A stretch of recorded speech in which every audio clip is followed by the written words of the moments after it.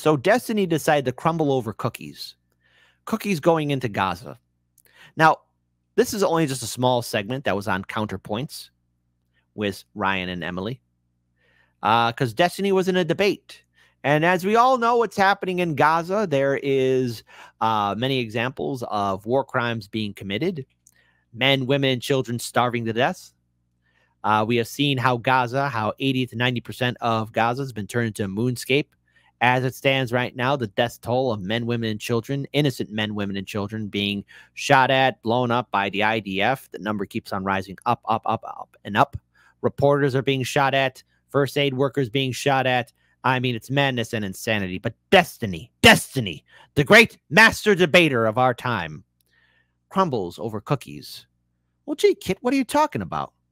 Well, apparently, destiny did not have the force on his side and he crumbles over cookies. You'll find out why. Israeli media makes things diet up. When, when the population has always had a that, calorie surplus. Yeah, even even um, the diet part. Calorie surplus. Yeah. They literally yeah. have. That's why when the famine started, when all the people were moved, yeah. Um, I believe it was UNRWA that made the statement that this is a region that has See, never experienced hunger before. It's that's, that's, what's, that's what's so infuriating. Well, that's, and that's, also why Finkelstein got mad because if you try to say, really, wait, these people are starving? By no, what metric? You that's that's what's so infuriating, Stephen, is that mm-hmm. you want to start counting calories and try to discover whether they have a surplus or or not when you're missing the fact that Israel getting to decide what food gets into Gaza is itself outrageous. Right. Is, One, yes, they're talking about what food can get in and be given to the people in Gaza. Okay. Now, look, I don't know how I would act if I was denied food for weeks, water for weeks, basic comforts for weeks, months on end. I don't know how I would act. I'd like to think I would at least have the mental fortitude to stay together, to keep it together. I don't know. But I do know this what is happening to the people in Gaza is inhumane. They're dying of starvation. I'm pretty sure all of us would react the same way too. And if they and the people who we see running to those food trucks, probably they're the only ones strong enough and able enough to quickly grab a bag of food or flour or rice and quickly bring it to their loved ones who are too weak to move one people does be, not get to control yeah. whether another side gets mm-hmm. to have cookies for their children and you know or potato chips or sodas. You don't get to do that. That's yeah, a level that of dominance and oppression that is unacceptable. Have, but you're not capable of having it because you won't even admit why the blockade exists. So you don't even deserve to be in. What do you want him to admit? What? You- well, Destiny, Destiny, take take take it easy. Take it easy. All right, because wait wait wait till you hear his big brain, his big brain statement about why there should be no cookies. No cookies in Gaza. No cookies. No cookies for you. I want him to admit. Why did why yeah, is okay, there a blockade in Gaza? Yeah, you, no, you tell, tell me. me. Why is there a blockade in Gaza? When you look at the fact that Israel is preventing cookies from going into Gaza, you know that it's not motivated Why by were cookies being prevented from going in? And, and what were Qassam chips. rockets fueled with? Yeah, with cookies? cookies? Yeah, with, with sugar and, and fertilizer. Yes, that's how they yeah, made so, the early so rockets. You heard that. The cookies with the sugar mixed in with fertilizer. Now look, hey, listen we all have we all want to be amateur scientists and chemists here and there, but I think at this point, no one has time to do that. People want, want food, but the reason why there's no cookies going in is because they could be broken down and the sugar could be used as fuel for rockets.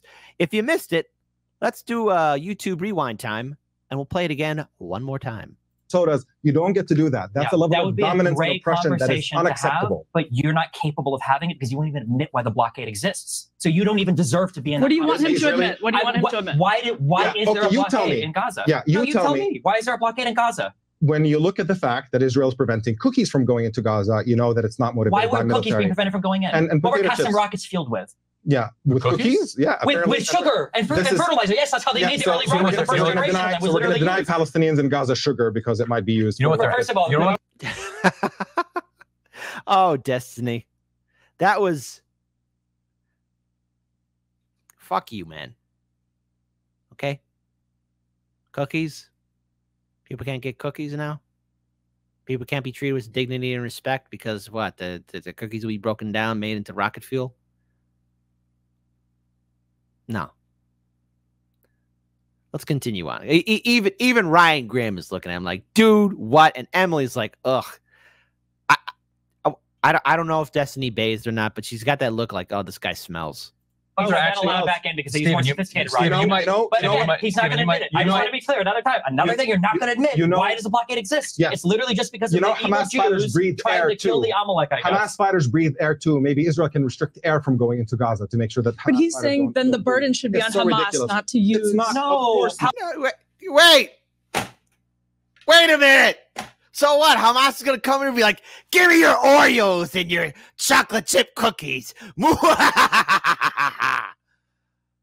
That- that's what Hamas is gonna do. They're just gonna jump on down like a Saturday morning cartoon, take the cookies from the kids, be like, "We're taking your cookies now." laugh into the laugh off into the shadows. We're not in the worst timeline. We're just in the most disappointing timeline. There's a difference between the two. Okay? Huge difference.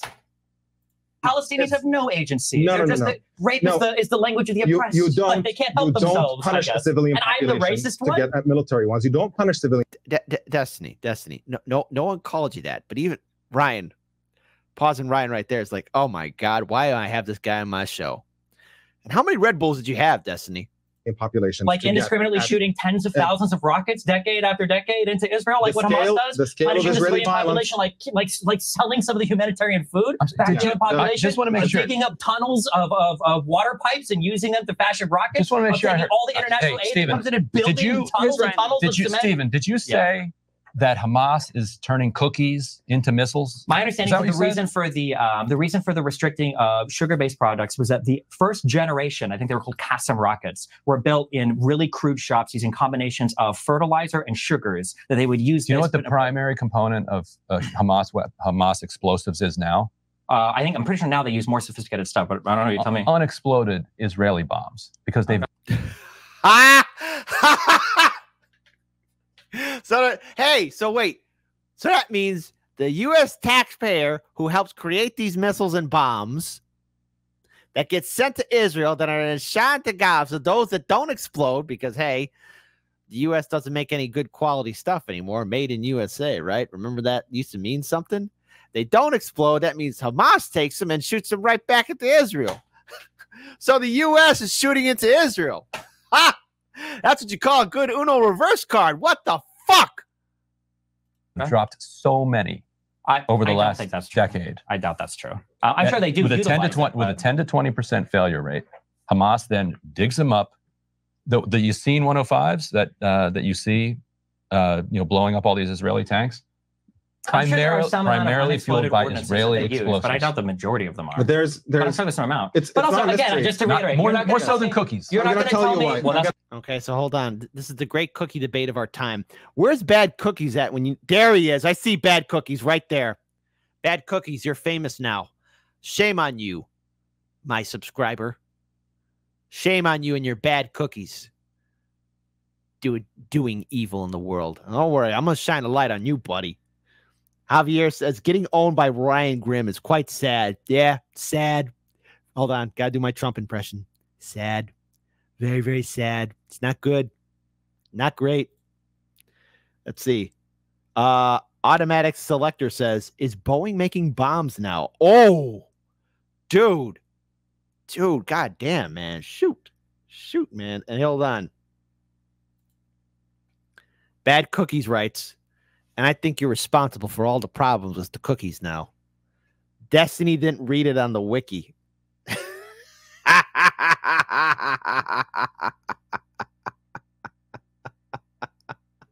it's des it's destiny's destiny you you you have enraged the bad cookie I'm Why gonna tell cookies are you- no longer yes, Yeah, going to why tell does you the why- exist? I'm going to tell you why the blockade exists. Okay. And the reason, by the way, why it includes banning cookies and soda pop and potato that. chips. Yes, the Yeah, yeah, Oreos aren't The- going into the Gaza yes, Strip. no, I'm sure it's it's very funny denying children the ability to eat chocolates and toys because they are Palestinian and not Israeli. That's just so incredibly incredibly bones. Yeah. trivial. Yes. Incredibly oh, the emotional And appeals. and and potato chips it's working. just it's we're two we're two Yes. more virtue signals away from You're- free Palestinian people. it's- Keep it's- going. It's, yes. it's you trivializing. If it was the other way around, Mhm. if Hamas was imposing a siege on Israel Oh, which Israeli. Children Yeah. were not allowed to do any of that stuff, Mhm. you would not be sitting here making making light of it. It would not be trivial to you because you understand that Israelis are human beings and their children deserve to eat potatoes, potato chips, Jewish soda people, pops. they. You I'm do. sorry. Hold on. You do. Jewish people live in Arab countries around the world.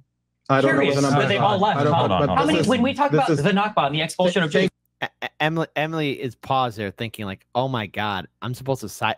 I, I I don't know if it's like Ryan Grim and this guy versus Emily and Destiny, but Emily, you better you better start thinking, "Hmm, how can I separate away from this?" Em, Emily's right now there pondering, "Yeah, that's me."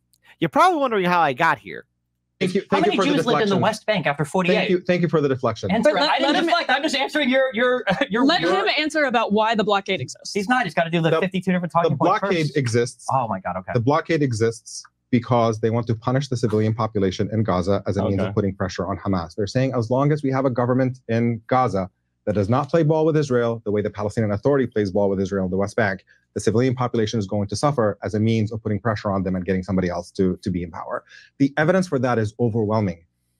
Children's toys were not allowed in at the beginning of the blockade. And when Israel came under intense pressure under the flotilla after the flotilla incident, a bunch of activists tried to basically force medicines to be delivered into So on Gaza. the flotilla on- incident, on- there on were two ships.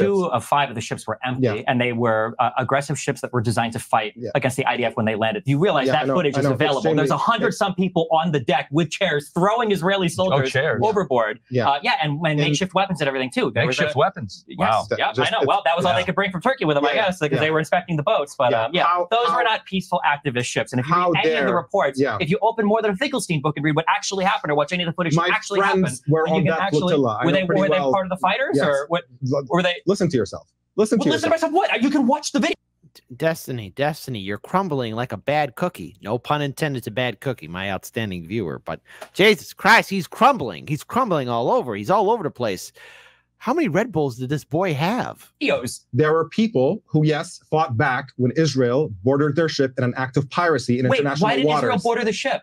Because they To don't want the ships to get to Gaza. there. There you go, talking because about? there's a blockade and because they they announced don't you get need to to stop. announce. They don't get to impose that blockade. They absolutely do. no, no more than Hamas gets to impose a blockade on Israel. This is ridiculous. Of course, they don't get to decide Okay. what ships get, get to go. I in. want to reiterate saying- by the end here. He's saying that the blockade exists because Yes. Jews are evil. To No, he's No, saying no, they're no, intentionally. That's, that's a despicable thing to say. Really? I'm not saying anything about Jews. I'm talking about the Israeli government policy what being you can't? absolutely Okay, I'm horrendous. curious. In So- this- Listen, you could be critical of a government and not the people, okay? You could be critical of the politicians. There's a big difference, Destiny. But he's all over the place. And, and mind you, again, the real sad truth people are starving there in Gaza. How many more need to die? And now military operations happening in Rafah, home to 1.5 million refugees right now. You know, I, I I I held out for hope that maybe, maybe there would be some kind of a ceasefire, but you know, hope in one hand and crap in the other. See which one fills up faster. So Second Intifada, conflate were submersibles or weapons brought in via that uh, you- via the water into the Gaza Strip? Did that happen? What are you talking? Say that one more time. Were there weapons that were shipped into the Gaza Strip via the Mediterranean? and plenty of weapons were shipped into Israel as well. Oh, that's interesting. it is so, there, interesting, so, there, isn't it? so there was so there were things. You wait, think wait. one so do you side think gets the to dominate blockade? the other. Why is it that Egypt has been a partner with Israel in that blockade You- since you- its inception as well? I've already explained to you why the Egyptian government is interested in Oh, restricting because for any 20 kind of years empowerment. they've just been an evil. Yes. Okay, okay. Everybody is is a this is it's this is consistent at least with the history that everybody is collaborators with the West and and e- uh, Governments that are yes, and transparently Israel collaborating with the uh, West has are collaborating hypnotized with the the West. world, Of uh, course the. Egyptian dictators Yeah. or everybody. Yes, Who and else are they everybody is collaborating against- I just, else are I they just want to say something. I just honestly, th- there's one thing that I think is really, really important. Okay. This, you know, just saying the Jews are evil. It's such a despicable line, and let me explain why. Anti-Semitism is a very, very serious and rising problem in the country, in many other places around the world, especially in the Trump years. We've seen these shootings that have happened at synagogues and everything like that. Not in the And- Middle East, though, and you 'cause it's have- always been at and you 100%. have- and you have a situation in which Israel's defenders constantly try to conflate those things is that you ignore the fact that there is a significant portion of the progressive young American Jewish population that is opposed to Israeli policies. And every time you criticize Israeli policy, people say, oh, you're attacking Jews. And that's exactly what you just did. And it's not just harmful to people like me who get smeared by that accusation, Mm. completely baseless and, and really ugly and, and detestable. Probably more but true it's than we also- know, I think. But yeah, That's yeah. Of Omar? Thank you. Yeah, I think Thank, so. thank you. Thank you for that. That- Wow. So Destiny, you're you're making an accusation of somebody calling them anti-Semitic when that's not what they're doing. You could be critical of a government. It's okay to be critical of the Israeli government. And I've seen many people of different faiths, different religion, different skin color, and yes, even across the political spectrum, criticizing Israel. What Destiny is doing here is a failure in debating. He's indicating that the person that he's talking to and making an accusation about them that is something that's not true at all. Emily, Emily, listen, you, you have a few seconds left in this video to, to maybe claw and dig your way out of this. Let's see what you got. That's wonderful speculation. Um, but it's also actually harmful to Jewish communities themselves that are trying to protect themselves from anti Semitism to constantly trivialize that charge, that you throw it around at anybody who is critical of Israeli policy, anybody who thinks that Palestinians are human beings who deserve to have rights. You water that charge down so much when you let it around that real anti Semites get more room to breathe and operate because that charge doesn't mean anything. So even if you enjoy smearing people like me and people who defend Palestinians, that's fine. But if you have any part of you that actually cares about Jewish people in this country, I would strongly advise you to stop throwing that smear around at people because. Okay, I'll do my virtue signal since you did yours. Um, yeah, and that's a perfect pause for Emily right there, thinking, "Yeah, that's me." You're probably wondering how I got here. Hold on, let's see if we get a clearer picture of that. Hold on. Good. Okay. I'll do my virtue signal since you did yours. the look on her face is priceless. You stand next to a guy who says, uh, "Yeah, no cookies into into Gaza. The, the children of Gaza get get no cookies, no Oreos, no chocolate chips, hell, no Twinkies, no Snicker bars. They get no Coca Cola, ice cold. How, uh, how about correction on this one? Because if you're gonna drink a good old Coca Cola, get the Mexican style ice cold Coca Cola with that real sugar cane in it. Okay, ice cold style. reason why I played that clip, reason why I shared it with you guys is because we have to see just how sad our entire media system is, where we're still having this debate about food not getting into Gaza. Okay. And this has been an ongoing problem because Israel controls the blockade. All right. Israel controls what gets in to Gaza, what gets out of Gaza. Gaza is an open air prison. Men, women, children are starving. I don't like seeing this imagery. I don't like seeing the horrific imagery of families crying over a loved one lost, or either that seeing a single family member survive while they're surrounded by their dead by their dead relatives, their dead family members surrounding them. You got to be human here. What's wrong with a chocolate chip cookie going into the hands of a Palestinian kid? What's wrong with them at least having some joy and comfort just for a little bit in a world that has gone mad? You know, today's May 4th, you know, where, you know, the, the whole story about Star Wars standing up against an evil empire, the good guys winning the day, saving the day. But the truth is, that's a story something to make us feel good and smile upon. The reality is, we live in a world that is gray, grim, and depressing. Doesn't have to be this way. A little humanity can go a long way. But uh uh I guess no cookies for the people or kids of Gaza because that's just a bridge too far. You hitting those home runs, Destiny. Enjoy the Wikipedia.